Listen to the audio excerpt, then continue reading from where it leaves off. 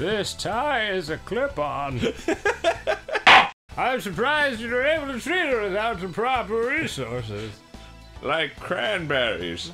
I love cranberries. It was a difficult operation, but I wanted to save her. well, giant cranberry, that decision may have changed your life. The organization we mentioned before has requested you join them. What? Why me? Your healing touch ability allowed you to successfully cure a guilt victim. What organization is this? The International Cranberry Association of America. ICA. They're an arm of the World Health Organization that specializes in exterminating intractable diseases that threaten mankind. They're called caduceus. Cranberries? Cranberry douches? Ah, an old ice cream truck used to carry that flavor. 1960. I remember seeing them listed in essays on cancer and AIDS treatments. Aren't they the ones who eradicated the TFTA influenza last year? It's pronounced tufta. Caduceus wants me.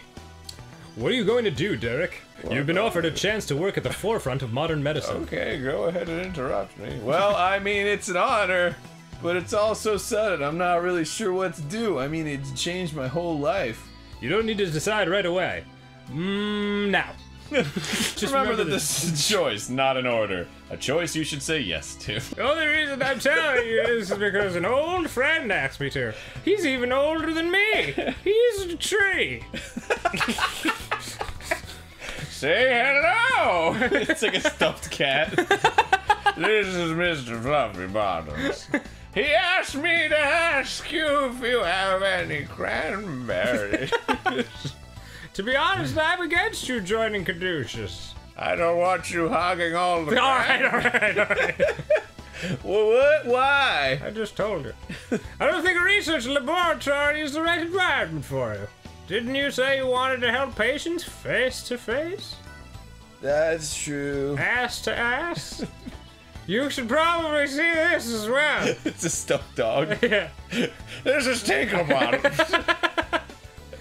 A letter. Yes. C.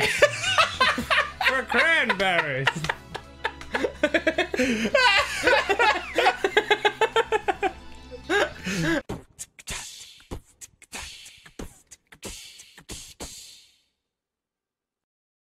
Hopefully now you see the stakes involved in this. Oh, stakes.